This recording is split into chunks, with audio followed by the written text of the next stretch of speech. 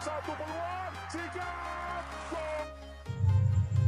Hasil Liga 1 2022 terbaru Rans Nusantara FC tak kunjung menang. Kini dipermak Arema FC di Stadion Kanjuruhan Malang. Pasukan Coach Rahmat Darmawan kian terpuruk di zona degradasi.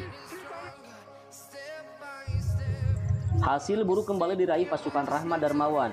Ran Nusantara FC dalam lanjutan Liga 1 2022 sore tadi.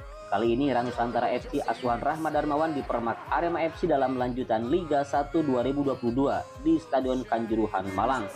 Skuad Rans Nusantara FC keok di kandang Arema dengan skor telak 4-2.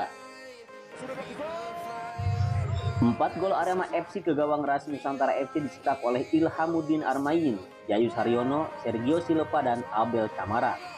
Sedangkan gol balasan Rans Nusantara FC ke gawang Arema FC dicetak oleh Oke John dan Wander Luis.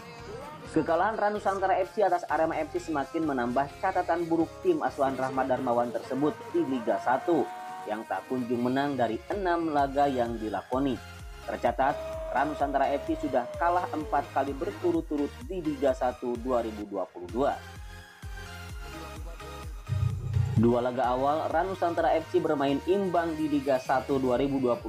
Kini, Ran Nusantara FC terpuruk di posisi 17 atau zona degradasi Liga 1 2022. Dendi tadi dan langsung memberikan sebuah umpan. Pasukan Ran Nusantara hanya terpaut satu angka dengan Persik Kediri yang terbenam di dasar klasmen sementara Liga 1 2022 dengan koleksi satu poin. Sementara itu, bagi Arema FC, kemenangan kontra Rans Nusantara FC sore ini mengantar Singo Edan ke posisi 7 klasmen sementara Liga 1 2022. Oh, berbahaya. Dan saat ini Arema FC sudah mengantongi 10 poin hasil dari tiga kali menang, sekali seri dan dua kali mengalami kekalahan.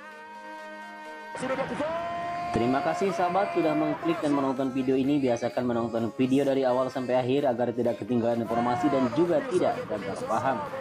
Jangan lupa bila teman-teman suka dengan video ini silahkan like, comment, and subscribe karena subscribe itu gratis dan jangan lupa untuk membunyikan lonceng notifikasinya agar teman-teman semua mendapatkan pemberitahuan ketika saya mengupload video-video terbaru. Salam damai untuk seluruh supporter tanah air.